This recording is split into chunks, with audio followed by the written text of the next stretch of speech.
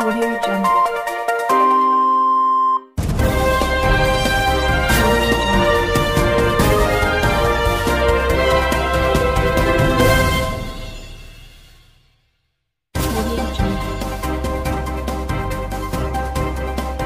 में एक मड़ौरा कस्बे में डॉक्टर जैन के यहाँ चोरी हुई थी, जिसका खुलासा किया जा चुका है।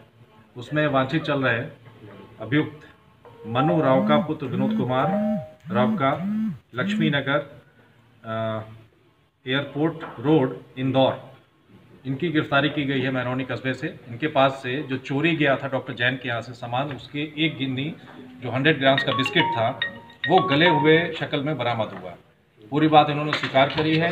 इनका साढ़ू, जो मुख्य अभियुक्त जो जेल जा चुका है, उत्तम चंद जैन, उनके ये साढ़ू हैं, उनके द्वारा इनको दिया गया था। तो वैधानिक कार्रवाई करते हुए हम इनको जेल भेज रहे हैं। और इनके पास से जैसा मैंने बताया कि ये 100 ग्राम का एक बिस्किट गले हुए हालत में ये प्राप्त हुआ है। इस टीम में जिसने गिरफ्तारी की है उसमें वड़ारवा के इंस्पेक्टर हैं और हमारे स्वाट प्रभारी और उनके साथ पूरी टीम है।